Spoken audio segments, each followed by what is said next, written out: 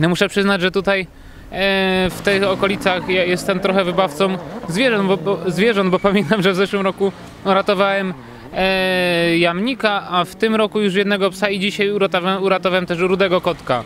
Także naprawdę no kilka zwierzątek więcej przeżyję, może powinienem z tego tytułu stworzyć jakąś akcję. Idzie tak raz lepiej, raz gorzej. Generalnie tempo jest bardzo dobre, ale, ale no, wszyscy bardzo mocno cisną, więc teraz mamy minimalnie do odrobienia. Wszystko jeszcze się może zdarzyć. To jest jeszcze naprawdę trudny rajd. Dwa bardzo trudne odcinki do tego wszystkiego. Wisi chmura, z której może w każdej chwili konkretnie lunąć, także wszystko otwarte. Cały czas prostujemy nogę od wczoraj, także nie, o to się nie martwię. No, cieszę się, że jesteśmy dzisiaj troszkę bardziej konkurencyjni. Bardzo fajne odcinki specjalne, szybkie, trudne, wybijające.